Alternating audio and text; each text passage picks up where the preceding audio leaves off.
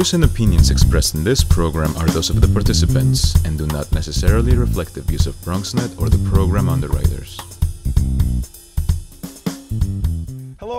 Open, the one and only show that opens the Bronx and the rest of the world right to you. I'm your host, Darren Jaime, and today we're going to update you on what's happening in and around our community. Coming up on today's show, children are getting ready to return back to the classroom tomorrow. We'll tell you about an internship opportunity in our borough to keep your student involved all year long. Plus, gun violence continues to be a major problem in our community. We're going to tell you how one organization is doing their part in an effort to keep our community safe. And after that, a Bronx man is being charged after beating his wife's would be rapist to death. We'll sit down with the defense attorney to discuss what self defense is in the eyes of the law. And then local elections are just a week away, and the race to the White House is entering its critical days. We'll have our political commentators in here to join us for an in depth discussion. We want you to stay tuned because all this and much more is heading your way. Because right now, we're officially open.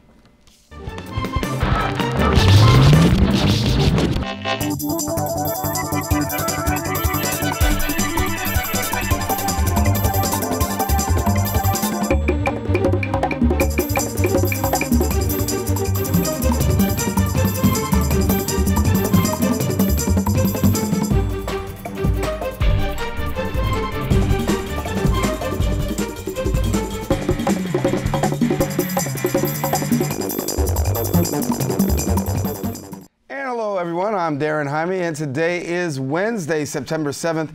Of course, you're watching Open, a live program that brings the Bronx and New York City straight to your TV set. Now, we want to encourage you to stay connected to us. As always, you can find out more about us on Twitter at BronxNetTV and Facebook at Open BronxNet Television. Well, kicking the show off with some latest updates. Bronx activists are asking a federal judge to cancel the upcoming local primary elections. The group filed a lawsuit demanding $5 billion in damages, claiming the local Democratic Party is running a scheme to cheat voters. Party leaders are alleged to have made nominating changes without their knowledge and collecting invalid signatures for preferred candidates. Now, a spokesperson for the Bronx Democratic Party stated, quote, we're prepared to defend the integrity of the Democratic Party the voters who've made their voices heard, as well as the hardworking elected officials in the borough against these ridiculous accusations. And that comes from Bronx Democratic Party spokesperson George Arze. In other news, a Catholic priest who once worked in the Bronx has been suspended from performing his religious duties after allegations of sexual child abuse have surfaced. Father Anthony Giuliano is being charged with molesting a 15 year old boy 30 years ago. Now 43 years of age, the victim has come forward telling police he worked in a church in the Baychester area between 1987 and 88 when the former priest allegedly befriended him. Investigators are trying to determine if Giuliano has more victims. We'll continue to follow this story. Big changes are coming to the borough of the Bronx, in Jerome Avenue to be exact. The Department of City Planning has made plans to rezone the Jerome Avenue district with large mixed-use residential buildings, including hotels, office space warehouses, as well as auto shops. Now, this comes after the approval of Mayor Bill de Blasio's affordable housing policy to rezone East New York. Other big changes happening in the borough. High-tech Wi-Fi kiosks have replaced payphones in our borough. The launch of Link NYC will now allow Bronxites to connect high-speed internet to surf the web and charge their phones. Now, the city plans on installing 4,550 kiosks across the city by July of 2019. There are currently 25 kiosks installed in the Bronx, with about 700 more to go. Over at St. Barnabas Hospital, they are celebrating 150 years right here in our borough. BronxNet reporter Lilia Udina tells us more, and she has our story. A beautiful reunion bringing doctors and families together at St. Barnabas Hospital in the Bronx. We're celebrating 150 years of St. Barnabas Hospital in general, but at the same time we're celebrating 18 years of the NICU being uh, operating. Uh, we've had about 22,000 uh, babies that have gone through our nurseries and the NICU. 15% of the 22,000 come through the NICU. Music is playing, kids having fun, getting pizza, cookies, and their faces painted into their favorite characters. Who do you want to be when you grow up? Spider-Man. Who would have thought that just a few short years ago, these children almost lost their lives? We take care of uh, babies uh, younger than uh, uh, eight months of age, and uh, and we address uh, their um, problems, and uh, we help them and uh, treat them so that they, they'll be able to uh, live. And uh, hopefully, these are what we call uh, babies who are surviving, and they are actually uh, productive uh, children and part of society. William, he was uh, six or seven months old when he was born, and now he's how old are you now? Nine. Nine years old. And what grade will you go into? Fourth. Fourth. Oh wow. And he told me he's doing well in school, and the parents are very proud of him. Parents warmly greeting the staff, celebrating together with them the lives of their kids. It's a joy to see how much fun they have. Some of the children share their plans for the future with us. I want to become the best soccer player in the world. I might become a, um, a planner or a builder. I want to be a director. It's such a pleasure to be a part of a beautiful reunion of doctors, nurses, and families of children who just a few years ago were on the verge of losing their lives. It's such a joy to celebrate 10 years of hard work that gave the children a chance to live. Here at St. Barnabas Hospital in the Bronx, reporting for BronxNet, this is Lilia Udina. And thank you, Lilia. We'll have more open coming your way, so please stay with us.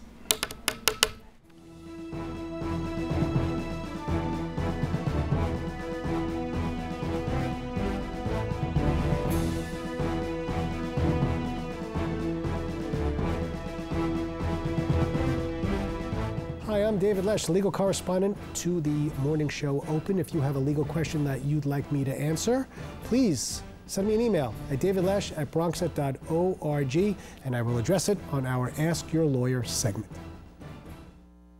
It's not always easy being a dad. Do you have panda asthma too? Does that run in the family? This is the home of the most priceless kung fu artifacts. But when you make an effort, Dad, we're not supposed to touch anything. Oh, sorry.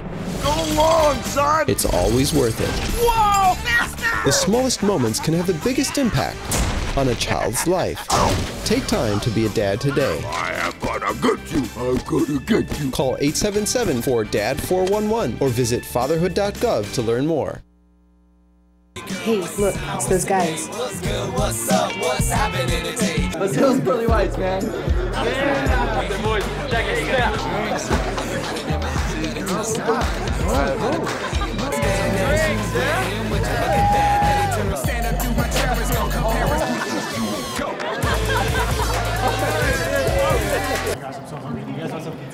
Ooh, cute.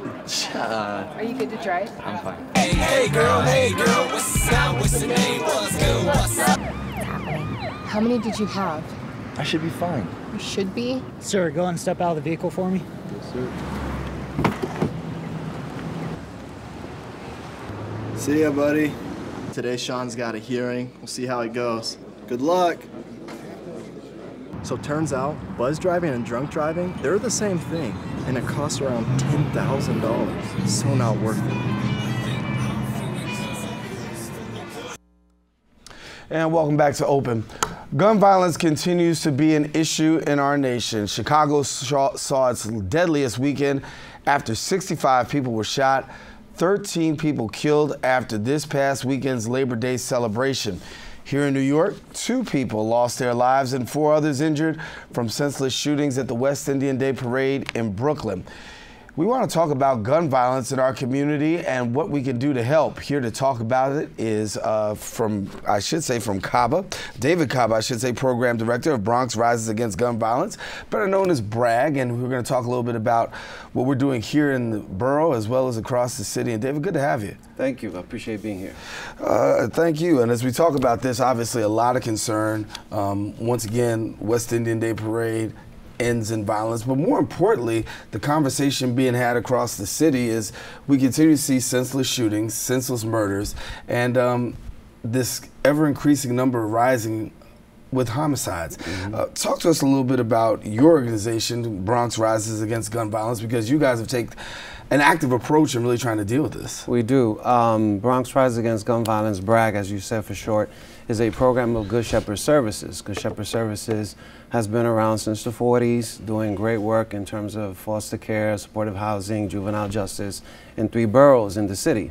Um, they received the funding to um, create the Cure Violence uh, program here in the Bronx. Uh, the Cure Violence model came out of Chicago, extremely successful uh, reduction in shooting uh, by 66% in the worst neighborhoods of Chicago.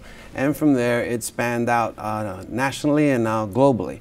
Everywhere that it's uh, deployed, the reduction in shooting is dramatic. So we created Bronx Rises Against Gun Violence, which is BRAG for short, um, to uh, affect a particular area in the 46th precinct as of 2014. Um, the worst part of the 46 precincts, in fact, where the shooting was the highest. And I got good, good news. Good news is, is that from 2014 to 2015, in the area where we provide the services, we reduced the shooting by 50%. Mm. More good news, um, we haven't had a homicide in the area we service since 2014. More good news, since February of this year, all the way until today, knock on wood, we haven't had any shooting in the catchment area, which is the zone, the hot zone, the worst part of the 46th mm-hmm. precinct that we service. No shootings from February all the way until today. That means June, July, and August. Right. Well, and, and, that's major because the summer we know that many times in the summertime those numbers continue to rise. They could. Uh, but you've seen no action. What do you think is the difference maker, and, and how are you making that difference? The difference is the model. The model came out of Chicago, and the model uses a public health approach. It treats violence like a disease. So we attack it like a public health issue. And so we do three major things. We identify the high risk youth who are involved in this activity. Um, we provide them with wraparound services, jobs, training, employment, and how to handle conflicts peacefully. We also involve the community in a major way by getting them involved through public education, through getting them to reject the violence, getting them to understand. And when there's a shooting, within 72 hours, we react to the shooting on the site, getting all the stakeholders from the community together to reject that violence, to get them to say that this is not right, that this is abnormal, and we need to say no to the violence. When you talk about taking the model from Chicago, I want to take a look at Chicago for a minute. 488 homicides in Chicago so far this year. Uh, they logged 481 last year. Uh, and obviously, while you take the model from Chicago, Chicago still has some work, major work that needs to that, that needs to be done. Um, give us a little bit about why maybe some of the stuff isn't working all the way through in Chicago. Well, um, I'm, I'm not from Chicago. I did go visit Chicago, and when Dr. Slutkin created this, in the areas where the Cure Violence model was deployed, the shooting is down in those areas. Now, funding is, is really one of the issues in Chicago. So they lost a lot of funding. Mm. And once they did, then that's when the shooting spiked all over again. Now, I'm not from Chicago. I'm not the elected officials. Right. Um, but that's what I know of what's going on in Chicago. Here in New York, it's a different story. We have 18 cure violence sites and in, in multiple um, in boroughs there are multiple cure violence sites. We did so well they actually asked us to open up another one in the northern Bronx on Bronxwood in um, 227th Street. And over there we haven't had any shootings since January. Mm. How do we address this issue. Of course, we, we talk about the West Indian Day Parade. We know what happened last year, uh, an aide to the governor being murdered. Also, this year, you have two people who've lost their lives, and you see the Daily News headline there senseless slaughter, and calls now for uh, the J'Ouvert to actually be disbanded. Mm-hmm. Um, how do we approach this? What do we do uh, moving forward? Do you think it should be disbanded? No, no, I don't think so. I, I, I, always say that there's more than one approach to a problem. You have to have multiple solutions. It's multifaceted. So you do have law enforcement and you have other anti-violence programs, prevention programs, uh, treatment programs. We're one of the solutions to it. We're a proven solution to it. It works. And my strongest suggestion is to include the cure violence programs in that area because there are at least five cure violence programs in Brooklyn. Mm -hmm. And they should include those cure violence programs in the solution. Talk to me about buy-in because obviously when you have programs such as this, you have to have buy-in. You have to have buy-in from the community. Mm-hmm. You have to have buy-in from you know yeah. those those even even in, uh, the people who are engaged in, in the illegal activity, trying to work that piece out. How hard was it to get buy-in in the Bronx? It's it's not easy.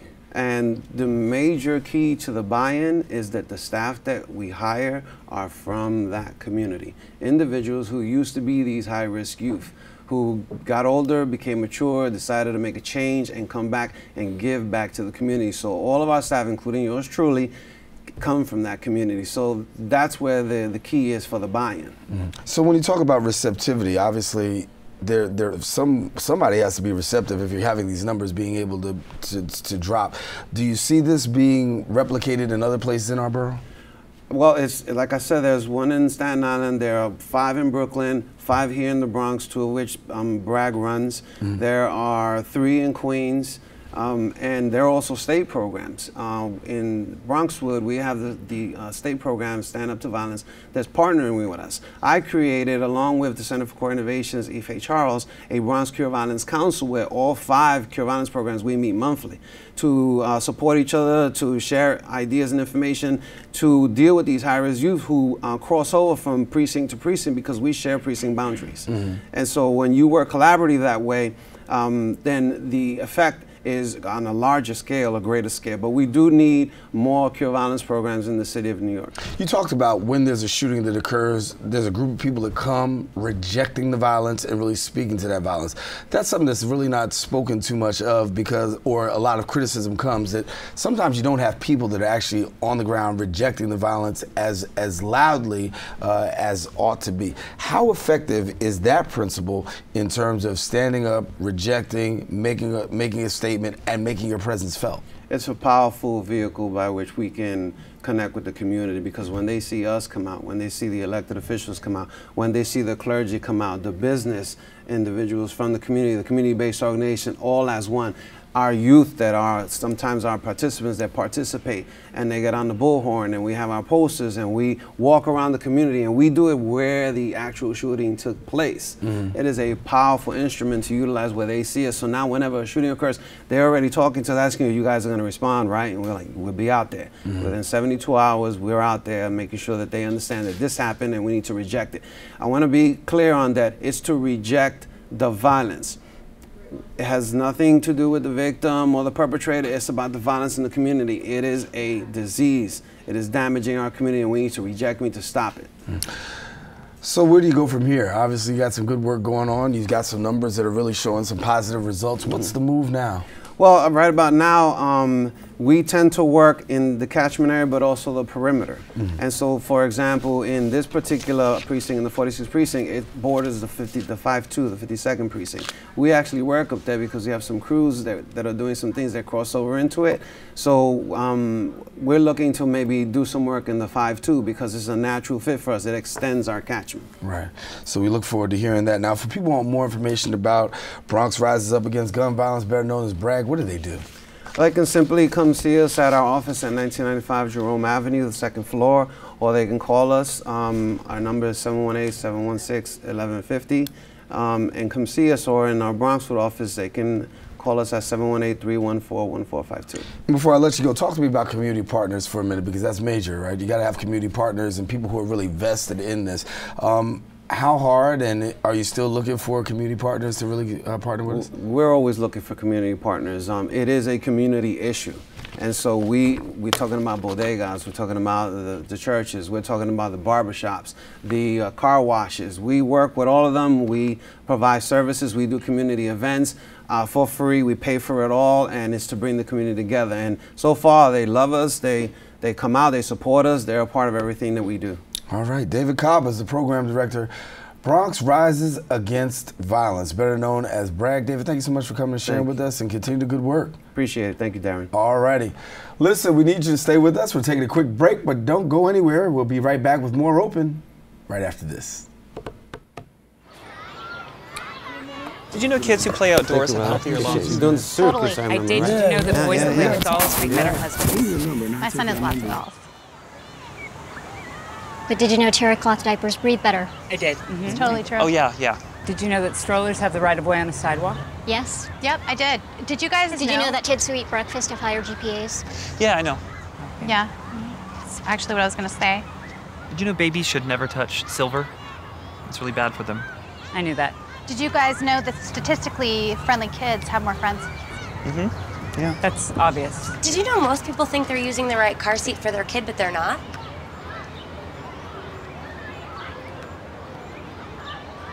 Parents who really know it all know for sure that their child is in the right seat at the right age and size. Visit safercar.gov slash the right seat to make sure your child is protected. I'm putting that on my blog. I just put it in mine.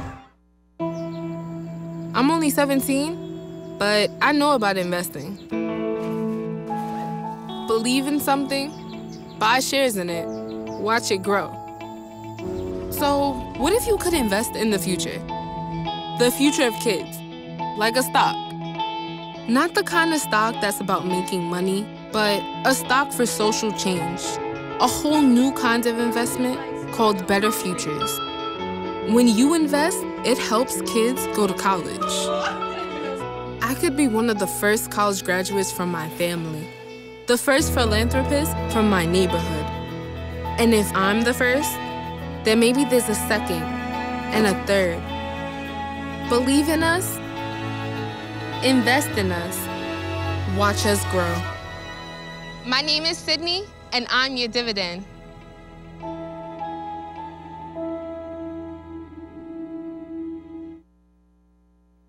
They said I have troll teeth. That my voice sounded like a possessed baby doll. That no one would ever love someone as stupid as me. That I was fat, ugly. Disgusting.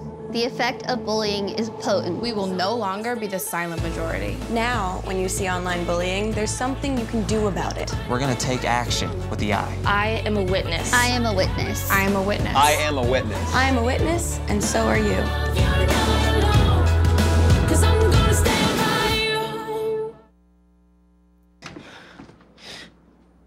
Your daughter just had her first breakup.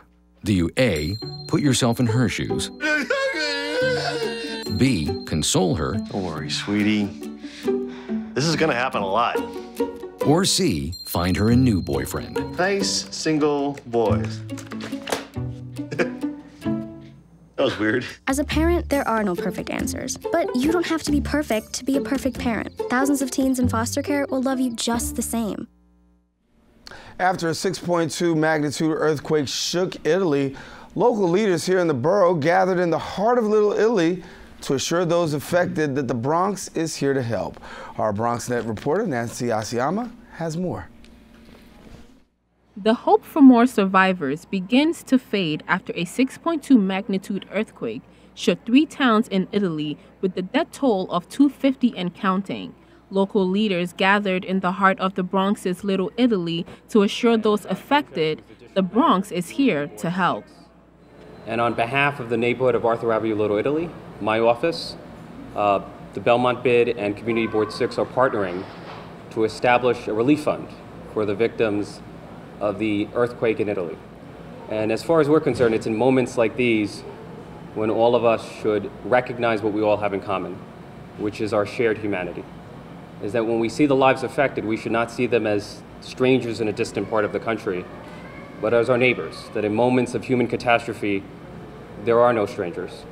The Belmont section of the Bronx has the largest population of Italians in New York City, and these local leaders are urging those looking to help to send their donations directly to the Italian General Council at 690 Park Avenue in Manhattan. Right now, and we want to show that the Bronx stands with Italy, and we will continue to stand with Italy throughout the rebuilding effort. The disastrous earthquake has left the Italian Council of Ministers no choice but to issue a state of emergency for the regions affected, including the towns of Pescara del Tronto, Accumoli, and Amatrice, where the earthquake hit the hardest.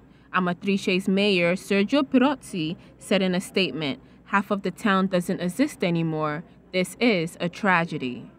No matter what nationality you are, I'm hearing from from everybody. Email me. How could they help? Everybody does want to help, and uh, I do believe that this will pass, and we will and we will go on. Additional places you can send your donations include the Italian Red Cross at crete.it or visit the National Italian American Foundation at italianamericanrelief.org. Nancy Asiama reporting for BronxNet. And thank you, Nancy. Continuing, we are one week away from the local primary elections, and the race to the White House has entered critical stages as the new CNN poll shows Donald Trump leading. Here to talk further and discuss these topics, we'll welcome political commentators Dominic Carter, J.C. Polanco, and Bob Kappstatter to the show. And gentlemen, good good morning and welcome. Good morning. Thanks for having Good us. morning. I first want to talk about, before we move to the presidential election, I want to talk about the president and the G20. Obviously, uh, a lot of talk about the president at the G20, uh, also his controversy with uh, a couple of leaders there. And so when we talk about the G20, Dominic, and the president leaving out of there, what are your, what's your take? What the president has been doing, President Obama, uh, first of all, it's nice to be back, Darren, here on Open. Thank you for having us. Um, what the president is doing really for the last six months is all about his legacy right now. He's focusing on the future, how he will be remembered as America's first African American president. And so he's focusing on issues in which he has a good standing with, with other world leaders.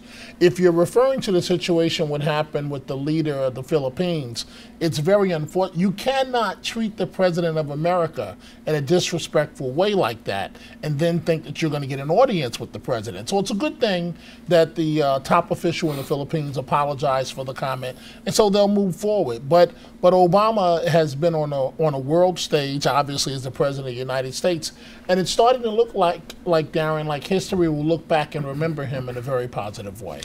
Uh, Bob, talk to me about this for a minute because when you talk about the president's legacy, foreign policy obviously has been questionable. Uh, your take on his foreign policy? It's a tough world out there. Uh, I mean, he's got it. He's basically uh, gotten us taken two wars that were begun in the previous administration, wound them down to some point. Uh, there's some criticism about maybe early withdrawals. Um, but at least we're not in a full open war right now. Um, ISIS has uh, come to the fore. It was created out of all the chaos in uh, out of the Iraq War. Um, but I think he's done pretty well on the world stage. Um, when you look back at uh, where we were before his term, uh, yes, there's a lot of work still to be done. There's the uh, the uh, European Union situation. There's Asia, China, economic competition. Uh, not much has changed. There's always going to be problems in this world. I think it's been fairly steady. We haven't gotten into a really embroiled war at this point. Mm, JC, let me throw you in here right quick. Foreign policy with the Yeah, president. you know, I think unfortunately one of the things that angers me a great deal is this disrespect that I see towards President Obama. I see that disrespect nationally, uh, some in my own party, and I see uh, this disrespect internationally.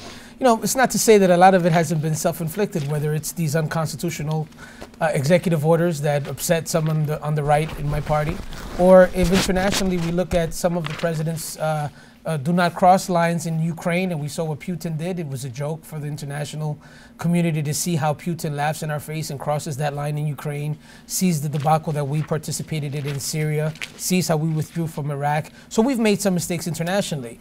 But these mistakes don't come close to how much good we do as a country and how much good President Obama has done internationally for other countries. And I think China should have respected him more on that tarmac. I think the Philippines should think twice before ever disrespecting our president, uh, as Dominic mentioned a little earlier.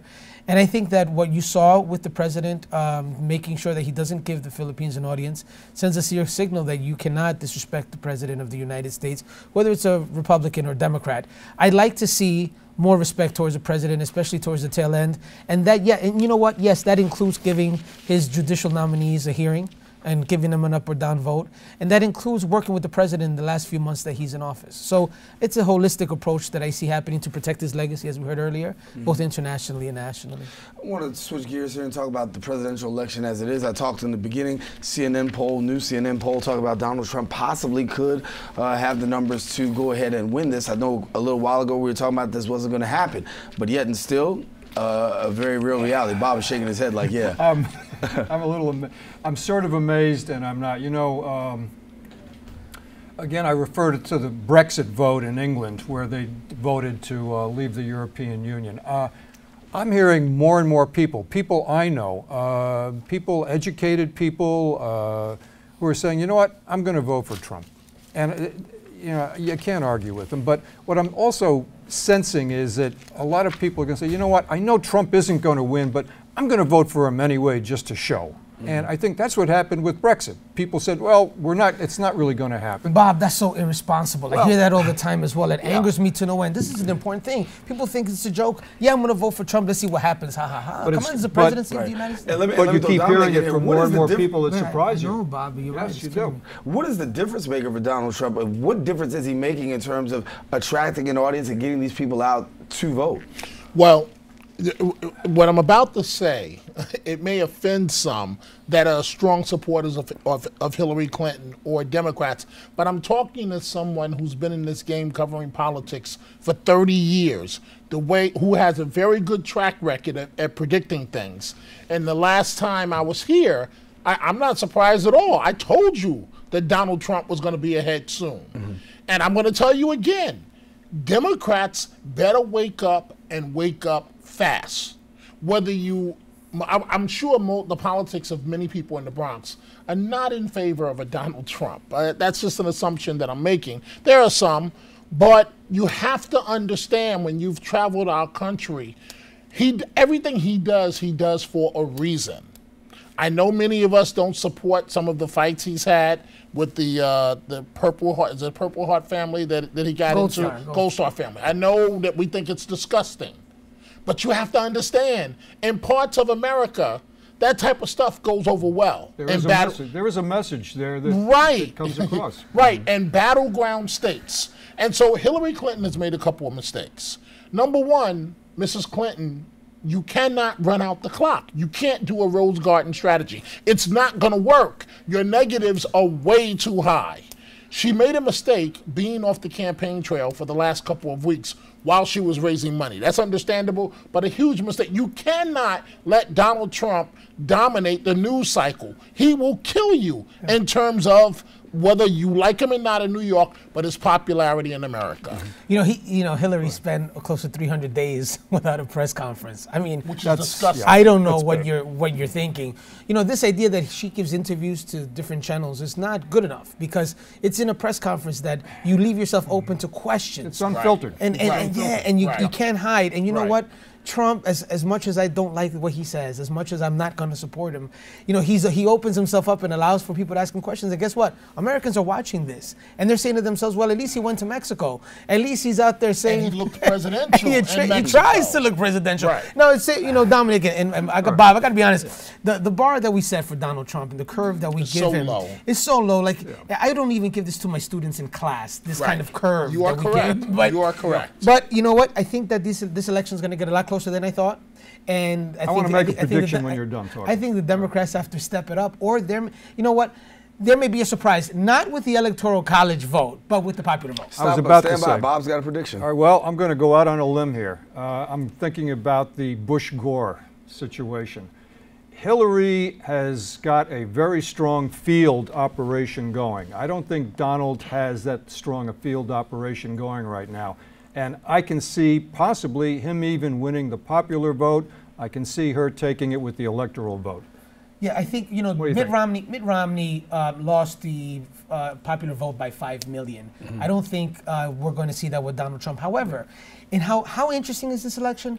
This electoral college map in November is going to be uh, in Hillary's favor by a lot. Ohio, Pennsylvania. Yeah, we're talking about Florida, in over 300 key states. But yet he's going to have he's going to come close yeah. in the popular vote. Let me ask this question, and I'll start with Dominic. Is this going to invoke a higher voter turnout across the United States? I mean, we know that there was high voter turnout when it came to President Obama running the first and second time. Will we see as much, if not more? I, I, I'm so glad, Darren, that you asked that question. I am warning Democrats. I am trying my best to tell you that this is no joke. Here's a scenario. You mentioned, and that's why I love the question. You mentioned Obama. Record turnout from African Americans, large turnout from Latinos, and so on, his coalition. If 15% of those people go, eh, I'm not really feeling Hillary, she's going to win, I'm going to stay home. You already know his base is extremely motivated. No matter when he made that comment about if he shoots some people, God, I mean, he shouldn't have said it, but he should on Fifth Avenue. He was right. his supporters are strongly in his corner, and you might see a record turnout. So, low turnout among blacks and Latinos for Hillary, high turnout among uh, Trump's base, and guess what? I'm telling you, we're this close from seeing the president Donald Trump. And the reason I'm laughing at JC is because we talked about this year, uh, about what if we first came out. Never thought we'd be having this conversation No. in September Who- who about thunk? this. We talked about this saying what six months? You said six months, Yeah. and this is all over. Yeah. And here it is. We're like 3 I'm weeks wrong. away. Right. I'm wrong. Look, if It's this, was, okay. if this was a major league team, I'd be cut a while ago. My numbers are so low This right now. major I team, by tell the you. way, yeah. I mean, Oh. with the Yankees, I'd be done. I'd be back in the farm league. You know what? I'm going to tell you again. The electoral college map is solidly in Hillary's favor. And moving forward, I want my party to know the map is not looking favorably.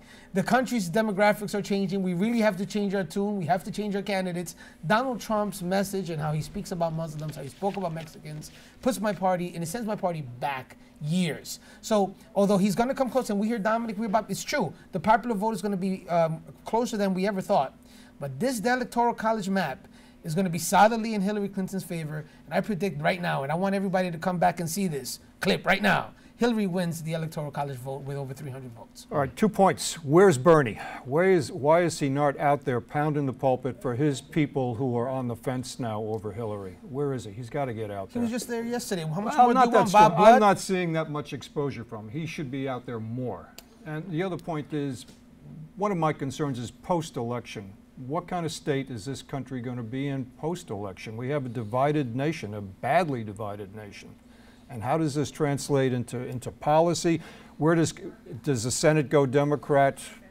I don't know, but you have a nation that's badly divided on a lot of issues, and that's not a good thing for this country. I think I shared with you guys before. I was in England, and when we were in England having dinner with some people, uh, asked about the Brexit vote, and they told us specifically, Brexit would have never happened had it been for people uh, not coming out. They stayed at home, thought it would never happen, and all of a sudden, Brexit happens.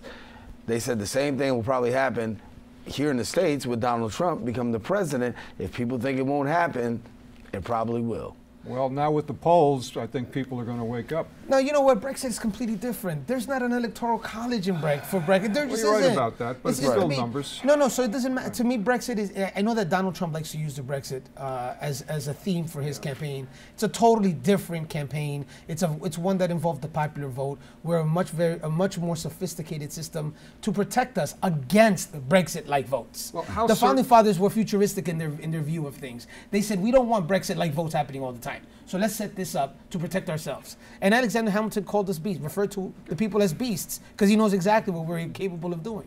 Well, how certain are we about the swing states, Ohio, We're not certain. That that that's, why that's why I'm not commenting because Trump is down in Pennsylvania right now. Mhm. Okay, heavy Democratic vote in Philadelphia, but how goes the suburbs of Philadelphia might go the election. So if he can turn out his base, if he can pull Pennsylvania, there are several scenarios in the electoral college Right. for him to win. And to many people that are watching us right now, this is a scary thought but it's real. Okay, you can call Trump a clown, you can call him whatever you want. He got past one of 18 candidates. He's now down to Hillary Clinton.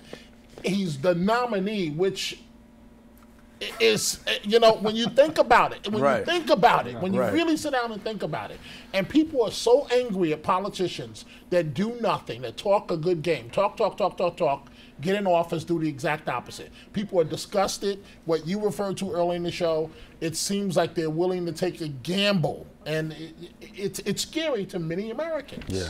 Gotta leave it there, gentlemen. Thank you so much for coming and sharing. As always, you can catch uh, these gentlemen here on Open, giving the latest in political news. You're the man. It's an Good to honor. be We're- back. We'll be back. Thank we'll have you. you. We gotta have you back, and then we'll also talk about some of these local races as well, and uh, get your perspective on getting that. hot on the local scene. It is getting hot on the local scene. That's why we gotta do it again. Call me All back. right. We- Phone is ringing right now. be right back after these messages. Don't go anywhere. Come right back in a few. Look under your bed. Find stuff under there? What about jobs? No? Now try your closet. Still no jobs? Just more stuff?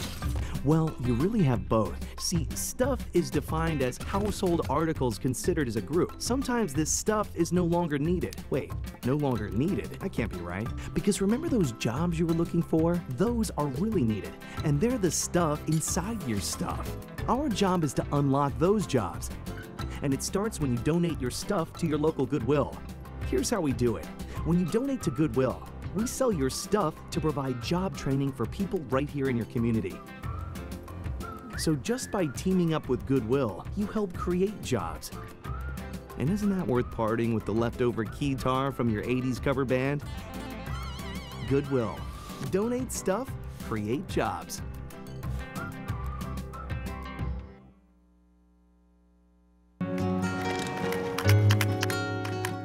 I wish I was in school. If only I had a math test today.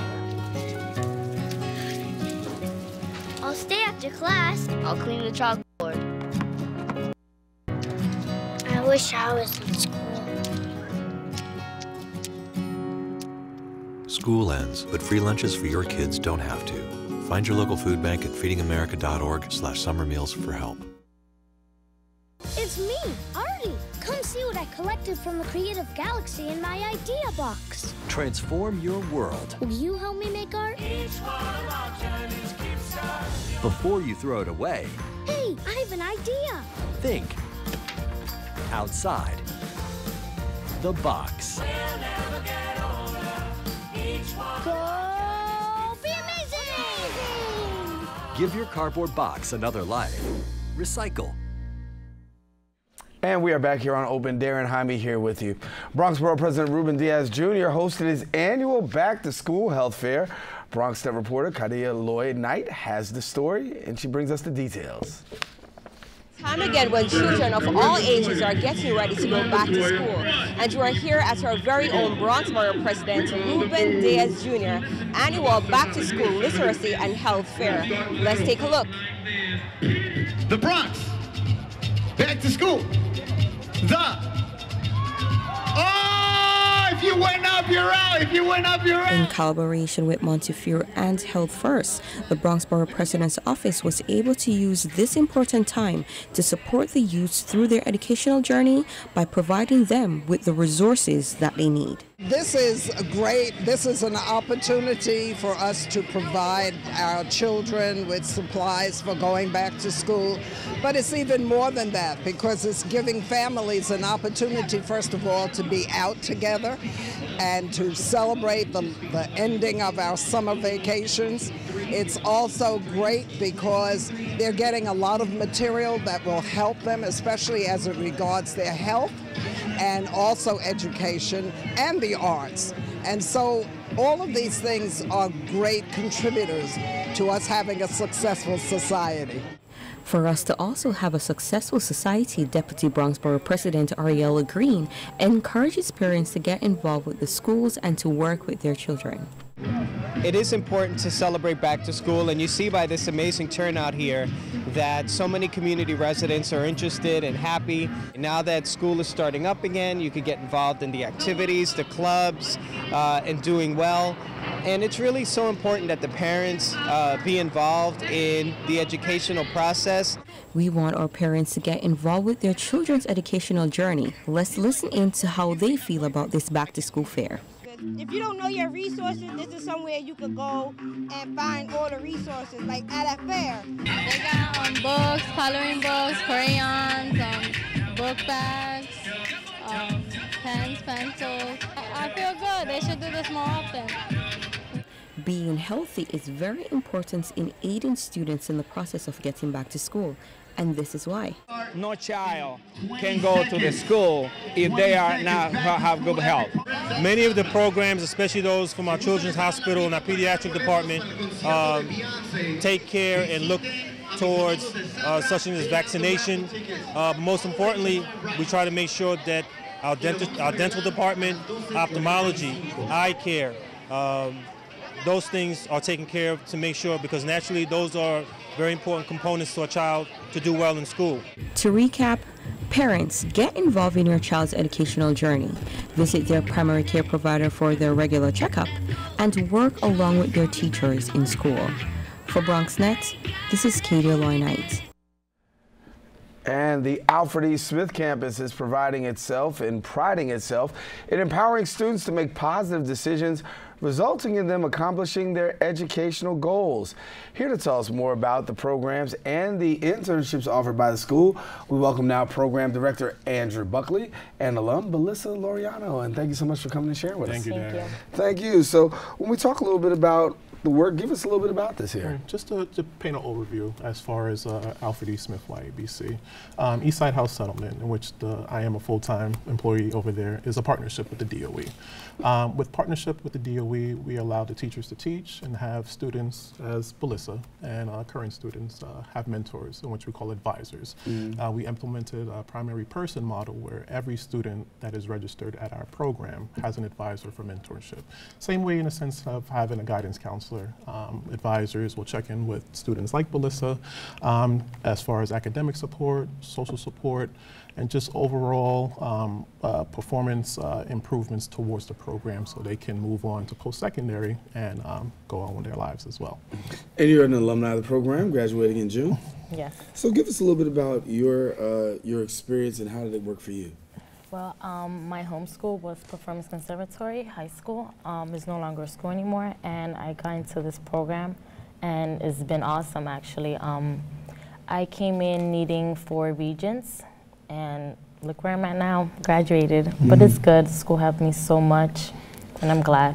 What do you think is a difference maker? I mean, obviously, uh, you know, there's that one to one, but what's the difference maker here? Uh, the school spirit uh, that we implement into the program. Um, students like Melissa, um, anytime we do follow up with them, they always miss that school spirit. Mm -hmm. So when it comes to trips, community give backs, um, the one-on-one support, the staff that we have employed there, and um, the internships that we have at the school as well too, it's always a, a finding factor that uh, everybody looks back on. We're seeing some pictures here of uh, some of the students, and uh, tell us a little bit about what we see. Right. So the picture we're actually seeing right now is uh, uh, an award ceremony in which Eastside had uh, Eastside House Settlement had for all uh, students uh, able to apply for scholarships. Mm -hmm. this year alone, we were able to get $10,000 in scholarships for students going on to college. luckily for our program, we had five recipients mm -hmm. to receive scholarships, minimum 2000 up to $4,000.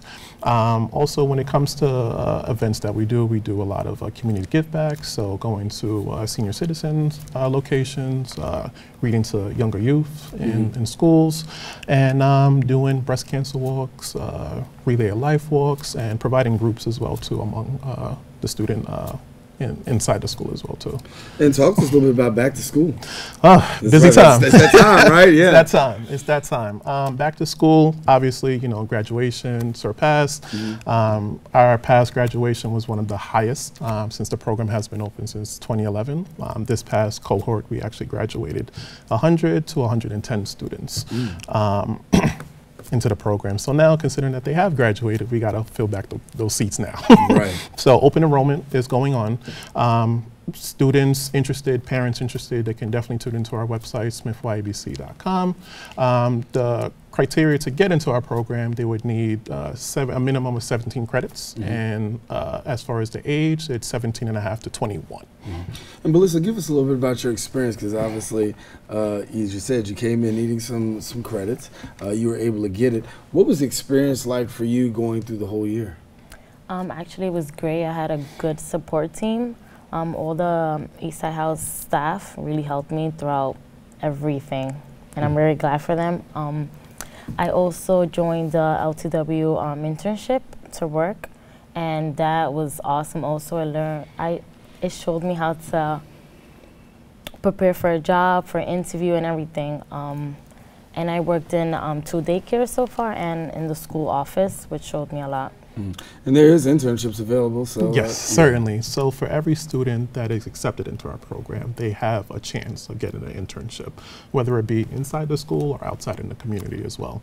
Um, so we do have an internship coordinator, a part of our team, in which their job responsibility is uh, finding jobs mm -hmm. for our students um, into the program. Um, skills, don't worry about them. Um, once we get these partnerships in line and in agreement, we're definitely looking to place students there um, on their availability. So, for someone who says I want to be a part of this, what's the what's the criteria? Who, who's eligible? Okay, so for students that are eligible, first they need to be enrolled into a DOE high school. Mm-hmm. Uh, they must have completed at least four years of high school and have a minimum of 17 credits. As far as the age, uh, it's 17 and a half to 21. Um, with Eastside House, uh, there are some students that are not qualified. Um, but we don't tell them that it stops there. Um, they can definitely go to eastsidehousesettlement.org, uh, in which they can locate any other programs that may be more fitting for them. If students are above age, um, say for instance 22, um, Eastside House Settlement has uh, what they call a YACE program, Young Mhm. Adult Educational Services, in which they'll help students uh, get their GED, which now is called the HSE um, evaluation exam. All right. Well, Andrew, thank you so much for coming. Melissa, congratulations. Thank Keep up the great work. Mhm. And uh, we got to take a quick break, but we want you to stay tuned because guess what? We got a little bit more show coming up right after this. I'm only 17, but I know about investing. Believe in something, buy shares in it, watch it grow. So, what if you could invest in the future? The future of kids, like a stock. Not the kind of stock that's about making money, but a stock for social change. A whole new kind of investment called Better Futures. When you invest, it helps kids go to college. I could be one of the first college graduates from my family, the first philanthropist from my neighborhood. And if I'm the first, then maybe there's a second and a third. Believe in us, invest in us, watch us grow. My name is Sydney, and I'm your dividend.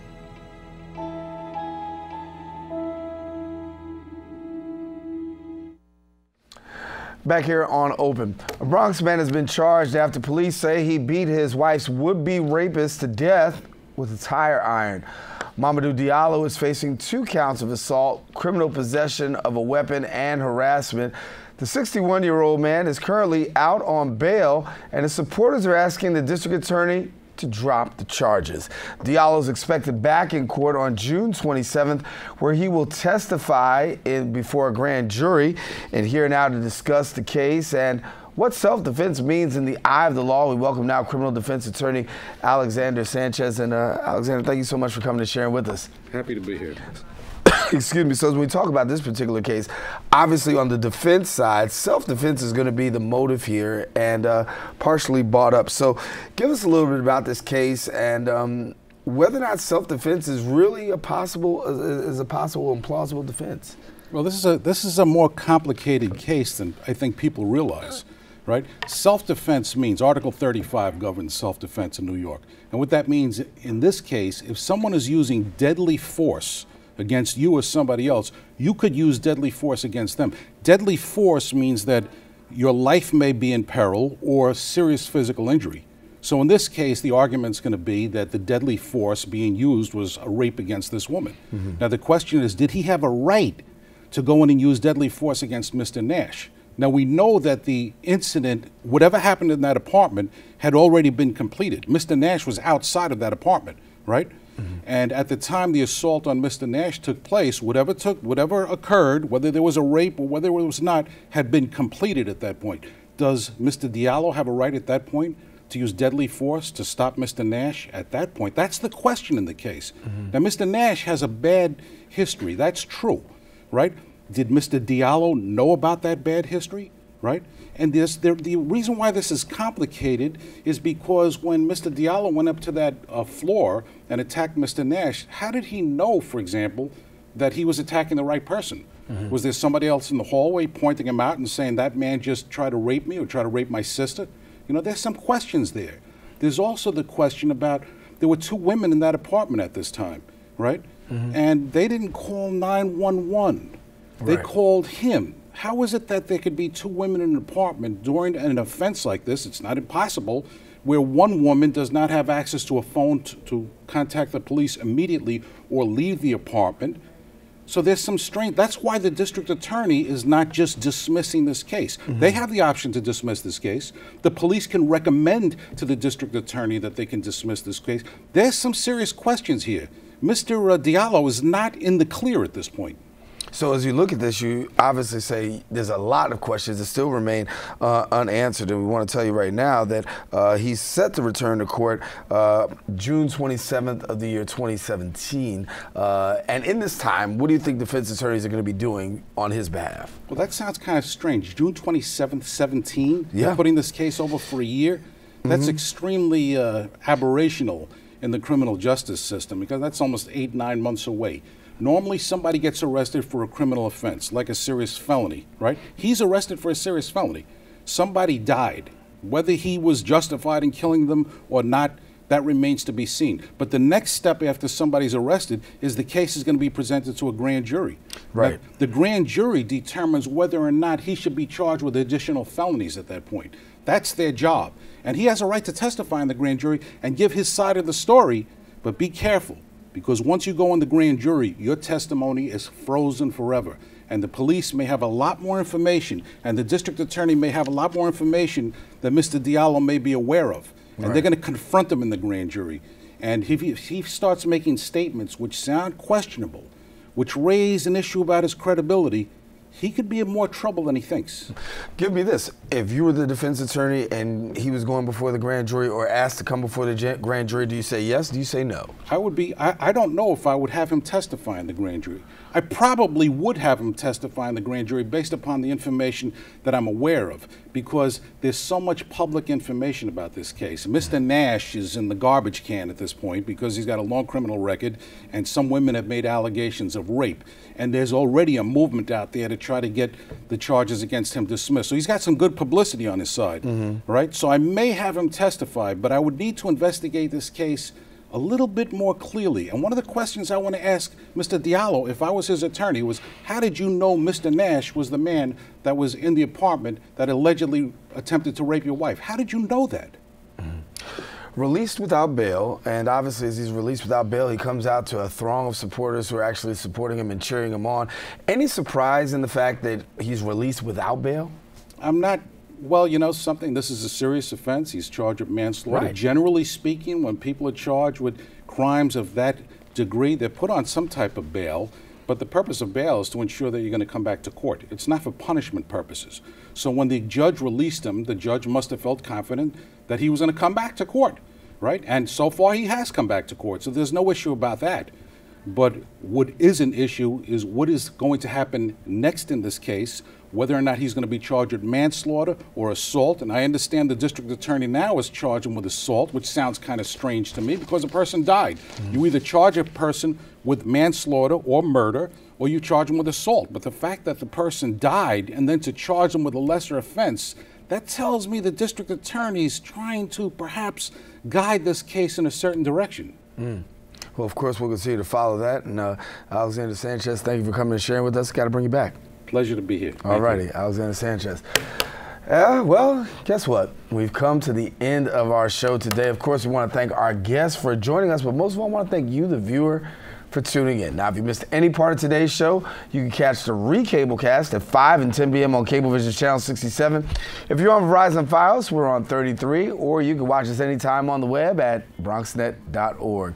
I'm Darren Jaime. It's been a pleasure coming into your homes. Until the next time we meet, stay safe. God bless.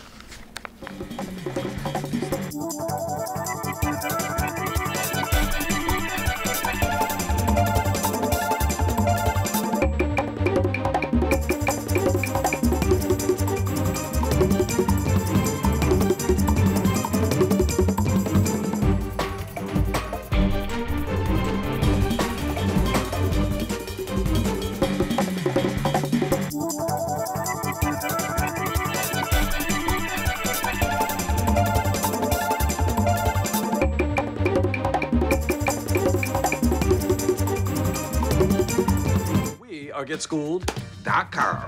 You want a college education, don't you? Gary, financial aid forms. Biology homework, G. Picking a college, man. You and us go together like tacos and Tuesday. And I love tacos.